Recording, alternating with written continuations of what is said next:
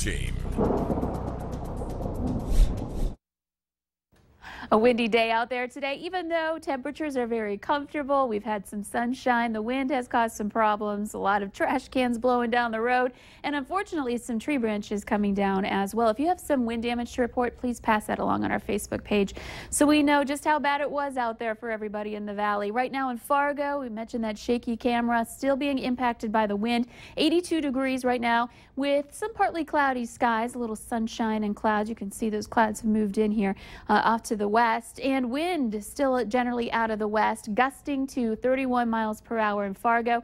Moorhead's temperature 81 degrees. All of us in those upper 70s to some low 80s out there for highs today.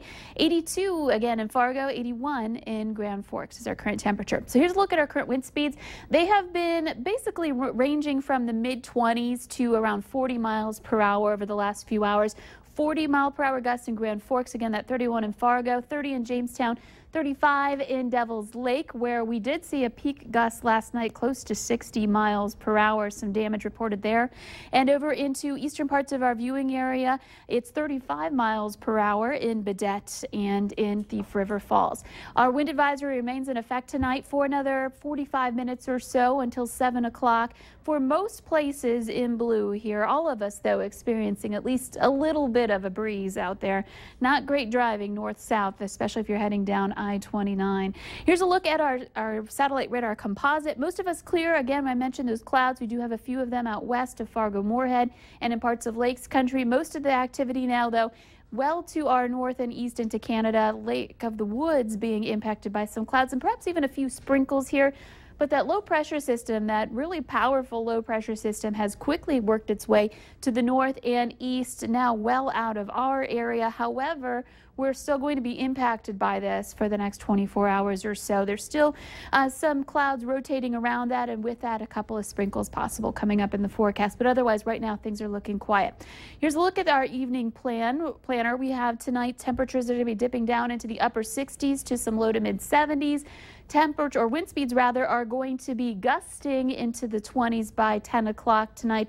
With sundown, we'll start to see some of that wind come down as well, even though it'll still be a breezy night and even into the day tomorrow we're not going to be seeing those 40 to 50 mile per hour gusts that we had earlier.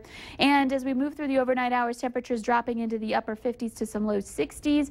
As we head out the door tomorrow morning, winds gusting into the teens to maybe even a 20 mile per hour speed. So not as bad and still pleasant. Temperatures right around 70 degrees around 9 o'clock in Fargo. By lunchtime, back into the mid to upper 70s. And with that afternoon heat, the wind picks up just a little, gusting back into the teens and some 20s. So a little breezy tomorrow, but again, not as bad as the last couple of days. And a chance for a couple of isolated showers as, again, a little bit of uh, instability left with that low off to our northeast. By late tonight, or tomorrow night rather, temperatures are going to be into the 60s. Great shot of a sunrise yesterday morning. This was near Valley City as Michelle was heading into work. Beautiful way to wake up and start your day. And as we look ahead through the rest of the week, not bad. Tomorrow, we'll see some sunshine, a little bit of clouds, and 86 degrees our temperature. For Friday, 85 will be our high with mostly sunny conditions. And as we look ahead to the weekend, not too bad. Temperatures will be in the 80s. There is a slight chance each day for a passing shower or thunder shower, but no major weather event coming through here. But it may impact you briefly through your day. Most of the day on Saturday and Sunday look to be pretty nice. We may see a moment or two where we're on the cloudy side, but otherwise looking good for the weekend. The quiet weather continues into next week with our next good chance for rain coming up on Wednesday. Tonight, though, things quieting down eventually, and Hutch has found a spot where he's got a little break from the wind out at the Cashwise Backyard Barbecue. Hutch.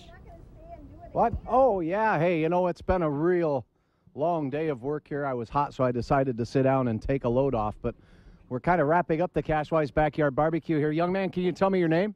AJ. AJ, uh, what did you think about your steak? Awesome. Awesome. And then what's, what's this jello thing? You like that? Yeah. I, I do too. It's very good. So we're having a good time. Everything's delicious.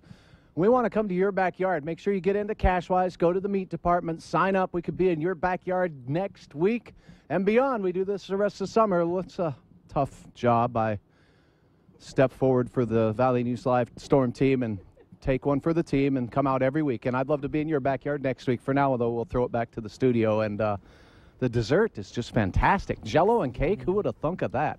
Thanks for going through that. Yes. What a trooper. Later in sports, North Dakota State makes a move to a major conference. And up next, what attracted dozens of teachers to give up a day of summer vacation to be inside